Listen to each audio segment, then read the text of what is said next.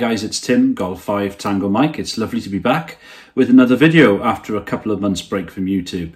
Thanks for staying with me if you've been with me all this time and if you're new to the channel or stumbled across this video then great to have you here. Maybe click that subscribe button uh, if you want to come and join in the channel.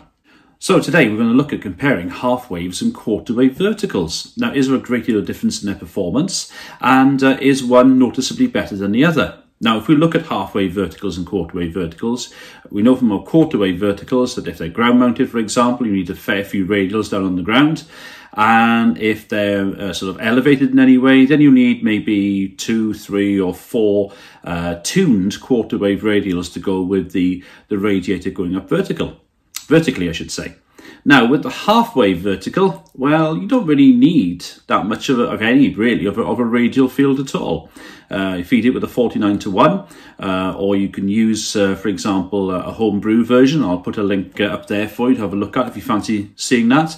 Uh, you don't need radials at all, just a straight uh, radiator going up. And of course, with a 49 to 1, but the half wave, for example, for 20 meters, you'll get a full wave harmonic uh, for 10 meters and so on. If you go to 40 meters, you'll get uh, 20, 15 and 10. That's with the 49 to 1 version.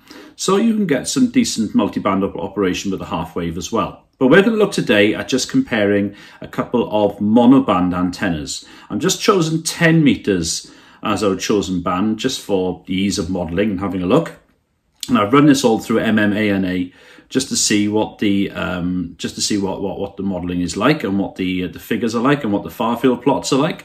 Uh, so let's uh, take a look and uh, see what I found. So I fired up the computer and uh, you can see what I've got here. So uh, we're looking then basically at 10 meters as the band. Uh, we're going to use the example for, but you can scale this for any other band really.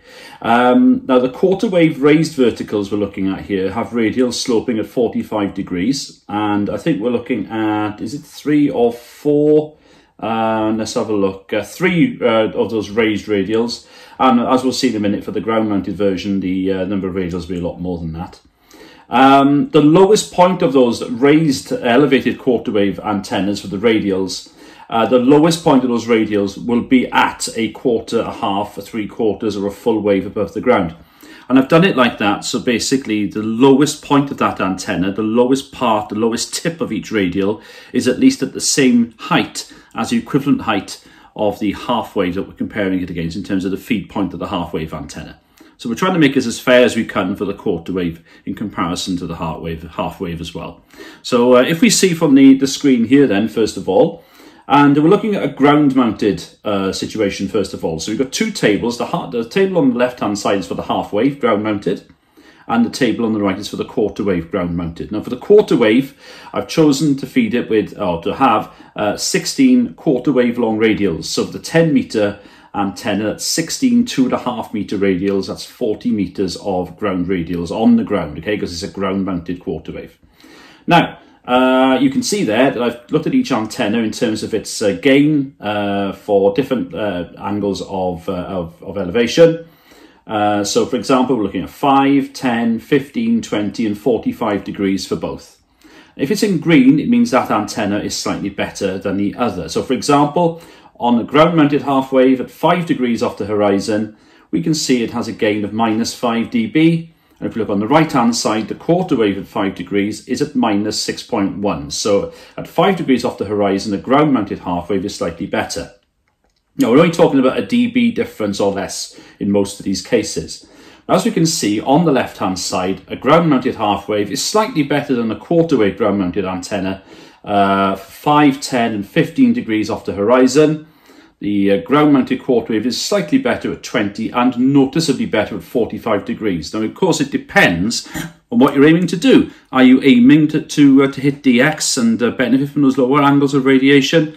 Or are you happy to, to gain, probably, uh, to, uh, to get hold of shorter range contacts, say within Europe, for example, from the UK? Depends what you want to do, doesn't it?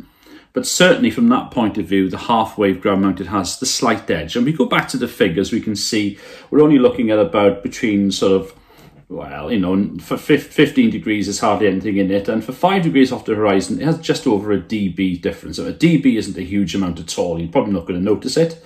But it shows the half-wave holds its own. Now, if we go to the next slide, and we're looking now at the quarter wave above ground. So we've got uh, our 10 meter vertical now, the half wave, it is mounted at uh, two and a half meters above the ground, about, what's that, about eight feet.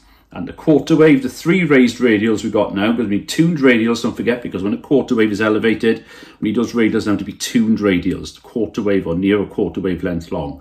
And for this, I've got three raised radials. So if we go back to this for a minute, the quarter wave then, three raised radials, and the base of each radial is no lower than two and a half meters, about 45 degrees they are from the feed point, uh, two and a half meters above the ground. Uh, so they're both a quarter wave above the ground, and we can see again on the left-hand side, look, the half wave has a slight advantage, not a huge amount, around half a dB for 5 and 10 degrees off the horizon. It's a draw 20, and again, the quarter wave is better by about 1.5 dBs at 45 degrees. And if we keep going, half wave above the ground, Again, again, don't forget now we're five meters off the deck for the half wave turns at the feed point and those raised radials for the quarter wave, the lowest point of them are also five meters off the ground. So they're both half wave above ground level. And again, at 5 and 10 degrees off the horizon, we've got about 0.7, 0.8 of a dB difference in favour of the half wave. At 15 degrees, and there's a bit more of, a, of an advantage for the half wave than there was, still only half a dB. And again, there's less of a difference now at 45 degrees, isn't there? Because it's now about 0.4 of a dB in favour of the quarter wave. So again, the lower angles of radiation seem to be favoured for the half wave. Not by much, between half and 1 dB, there is a slight advantage there would only make a difference in very, very few, few situations and very few occasions, but there is a slight difference. Let's carry on. Three quarter wave above the ground, so we've got our 10 meter vertical now, seven and a half meters at the bottom, a wave on the ground at the bottom.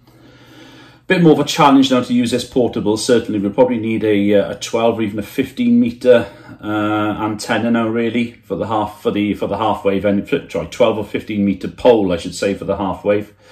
Um, you probably need to mount this maybe sort of um, near sort of gutter level or something like that if you're going to be that high now at home. Um, 5 degrees, again, very similar, look, 5, 10 and 15 degrees, very similar differences, around half a dB or so. Uh, also in better now at 20 degrees. And at 45 degrees, and again, the quarter wave has a, a noticeable advantage of a couple of dB. And then finally, if we go full wave above ground, so we've got now our 10 metre vertical about 30 odd feet above ground. So we're talking roof height now, chimney height, whatever it is. Again, if we go back here, look, we can see, uh, again, the half wave has a noticeable advantage at 5 and 10 degrees, about half a dB. And uh, at 20 degrees also. And again, we have a very similar advantage for the quarter wave at 45 degrees. So overall then, um, we've got a situation here where we have a, uh, you know, the, the, half wave for the lower angles for our DX, 5, 10 degrees off the horizon. The half wave has a slight advantage. Now, the benefit of the half wave is, I guess, if you're running portable, you don't have to rely on, a, on a radial system. Uh, it's a straight vertical, feed it at the bottom, job done. Uh, whether that's a ground mounted or you're a couple of meters off the ground or four meters off the ground, whatever it is. For the quarter wave, don't forget if you're doing a ground mounted quarter wave, you need a fair few radials down. And also, even if it's off the deck, you'll need to tune those radials as well as tune the vertical, um, um, the radiator. Benefit of the quarter wave though is that you'll need a less long pole, if you see what I mean, to get it up uh, above uh, a similar sort of height to the half wave. So for example, if you look at the 10 meter um, band, for the half wave, if you're putting a half a half a wavelength off the ground, you're going to be mounting it at five meters. It's going up another five meters. You need a 10 meter pole. For the quarter wave, if you mount it at five meters off the ground, then you'll only need another two and a half meters. You can go away with an eight meter pole. So it just makes it a bit easier to get the quarter slightly higher off the ground if you're using elevated radials. There you are, pros and cons to both antennas. And the last thing I'll show you here is like an average gain comparison. So if we look at this, so across all those scenarios, from ground mounted up to uh, full wave off the ground, these are the average figures. So the half wave antenna, as we can see at 5, 10 and 15, and indeed well, hardly any difference at 20 degrees. And in fact, even the differences at 5, 10 and 15 are between 0.6 down to 0.3 of a dB. And at 45 degrees, the quarter wave antenna has about 0.8 of a dB average advantage. So Averages aren't always a great figure to use, but it just gives you a flavour, an overall picture, if you like, of how the uh, the half wave has a slight advantage for those lower angles of DX compared to the quarter wave. Just to confirm, those figures are taken from MMANA, uh, the modelling software, and of course the far field plots uh, are what being used to ascertain the uh, those gain figures we looked at there. So there you go. Thanks for watching. If you like what you see, then click subscribe, and uh, thanks for coming along. And uh, it's nice to be back on YouTube again after a couple of months away. 7-3, and there'll be more videos to come. Take care, and uh, you stay safe. Bye-bye.